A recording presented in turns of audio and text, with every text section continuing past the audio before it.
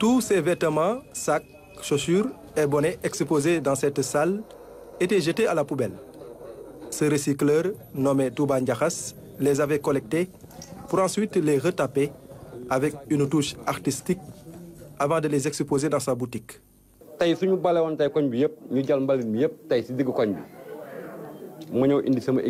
Devant un tas mes amis et moi xumbal lépp faisons une sélection. Nous mettons de côté matière tout ce qui est matière plastique, tout ce qui est fer, mais aussi tout ce qui est tissu, sac, chaussures bureau et autres. euh, Ensuite, nous les ay tegukaayu portable ay ay chaise ay table bon lépp mën na ko ci liggéey am na koo xam te ni lépp luy fer da koy fabriqué waat Les recycleurs, grâce à leur génie, parviennent à valoriser les déchets.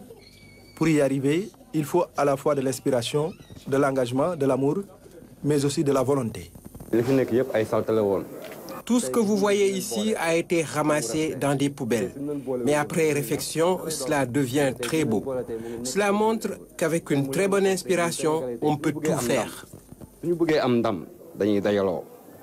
À côté des tissus, sacs et chaussures, le plastique fait aussi partie des objets recyclés. Ici, les recycleurs, grâce à leur ingéniosité, parviennent à mettre en place la menuiserie plastique.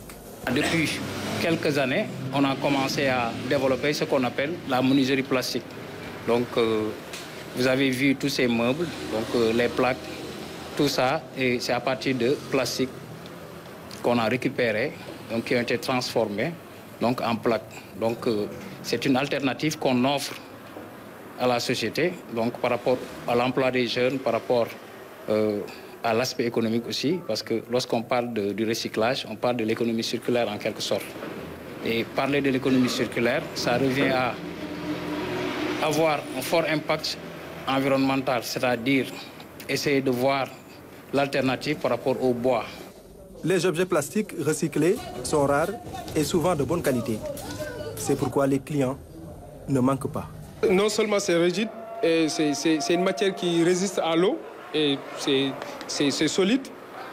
Et on peut l'utiliser de différentes manières, c'est-à-dire de profit, c'est-à-dire vous pouvez euh, poser votre téléphone comme ça. Si vous faites euh, du snap ou prendre une photo, vous faites cela aussi pour, euh, comment dirais-je, regarder un film. Et bon, c'est ce qui m'a impressionné, quoi. La valorisation des déchets participe à la préservation de l'environnement, mais aussi crée de l'emploi et de la richesse, pour dire qu'elle mérite une attention toute particulière des pouvoirs publics pour mieux préserver la biodiversité.